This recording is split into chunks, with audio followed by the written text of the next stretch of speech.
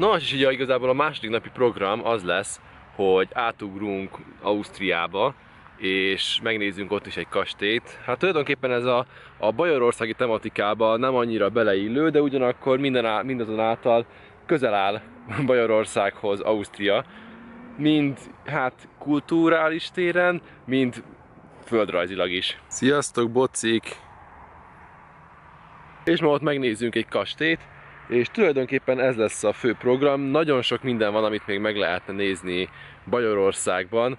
Kezdő ugye Münchennel, ahol, ahol nem, nem, több mint egy napot el lehetne tölteni, de hát az nem igazán fér bele a mi kis két napunkba, amit itt töltünk. Úgyhogy, úgyhogy ja, még egyszer Münchenben majd el kell nézni, és akkor majd arról is csinálok videót.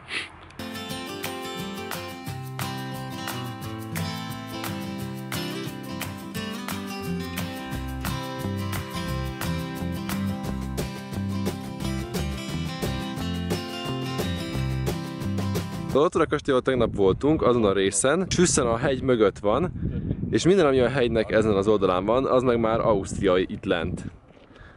Szóval ott van Osztrákia.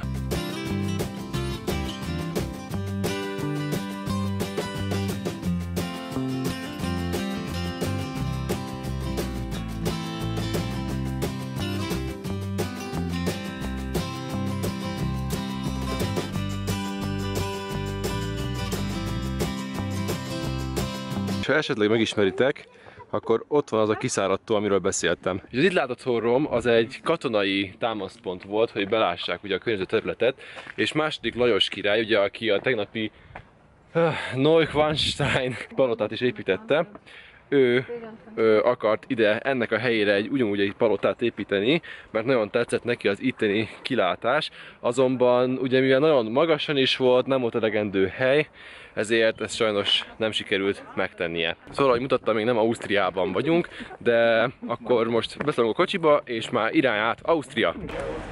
És itt is vagyunk, hát tulajdonképpen ezzel hazudok is, mert nem, nem Ausztriában vagyunk, hanem Németországba jöttünk vissza.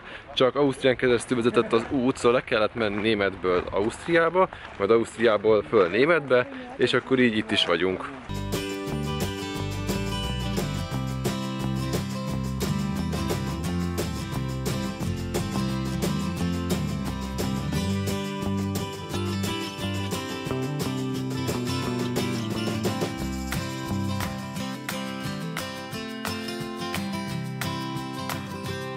És akkor most vagyunk az nevezetesen a Linderhof kastély, ami második Lajos királynak a legkisebb kastélya itt Németországon belül. Mármint ugye csak Németországban van kastélya, és hogyha ha jól tudom, akkor nagyjából öt kastélyt építetett itt Németországon belül, és ezek közül ugye tegnap láttuk ugye a, a most már nem mondom ki többet a nevét, Neuschwanstein, és ugye ma eljöttünk ide a Linderhofhoz, ami ugye, ahogy mondtam, a legkisebb kastélya, de ezen kívül van még egy másik, ami nagyon érdekes látvány lehet, mert ugyanis az egy, egy tónak a közepén levő kis szigetre épült. De a most ez nem az, ez itt a országnak a déli felében található. Tulajdonképpen 10 kilométernyire van az osztrák határ már innen.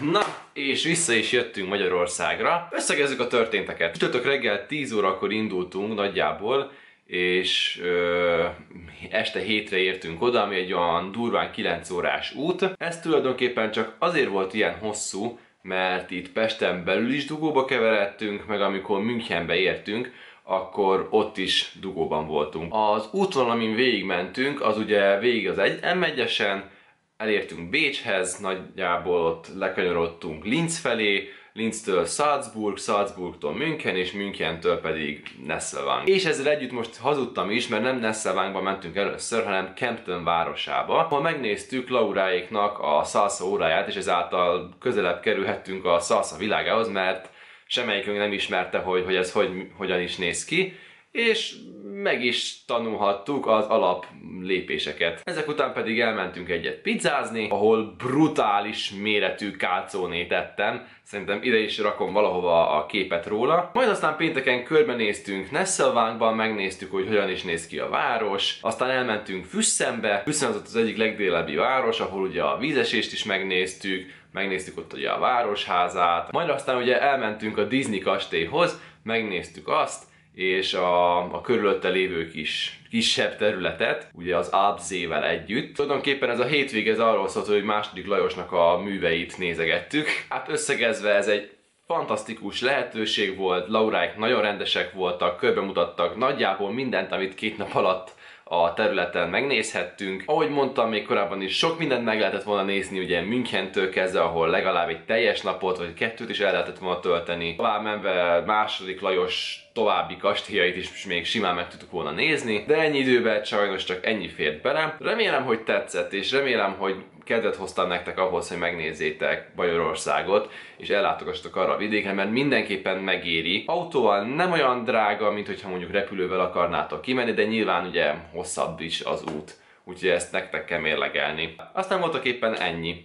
Köszönöm a megtisztelő figyelmet, találkozunk jövő héten. Sziasztok!